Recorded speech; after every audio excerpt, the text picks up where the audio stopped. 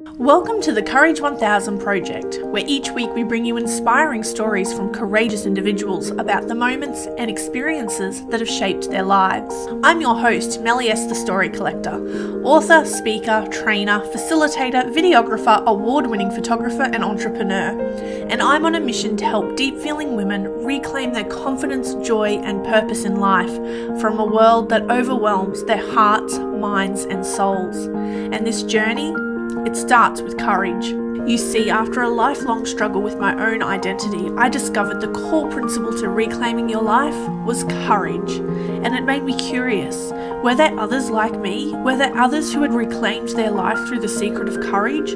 What was courage for them? What did it look like? And where were their stories? And with that, the Courage 1000 project was born.